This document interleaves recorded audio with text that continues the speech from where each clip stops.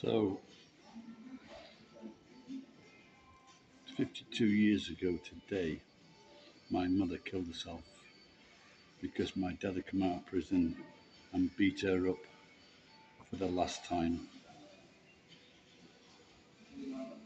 And uh, I got to find out from my uncle Jimmy. He drove to, I was uh, staying at my auntie's, my dad's sister. And uh,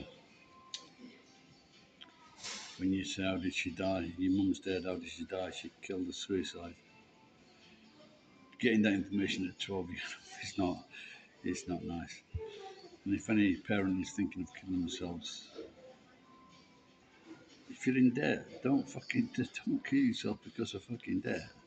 Do not kill yourself because of debt, because it will take 30 years for your children to get over it. At least 30 years. Don't. And if you're, and it's the other way around, if you're a child and your parents or one parent is abusing you or something like that, like Sinead O'Connor's mother was. If they're abusing you, don't kill yourself because the person that's abusing you won't be upset or feel guilty. So don't do it. Stand it out, bear it out until you're 16. Try, try to join the forces, try, join uh, junior forces so you can be accepted when you're 16 but just to get out of that place, you know.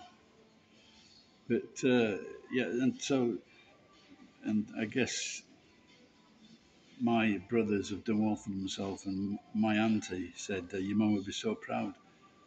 And I thought, and I wrote on there, she wouldn't be so proud if she knew that I had put a roof over their head when they were both in fucking dire straits, and then when they got fucking wealthy, they I was the only one they didn't fucking help. She wouldn't be proud of that. Because they're both fucking cunts. Ungrateful cunts. Anyway, out there, don't kill yourself.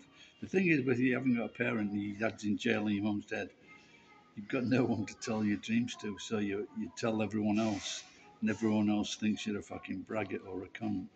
But if you've got a mum, she can tell, you can tell your dreams and what your thoughts to your mum. But if you haven't got a mum, you haven't got that outlet. And your mum's not going to fuck you over. Anyway, 52 years. Bye bye.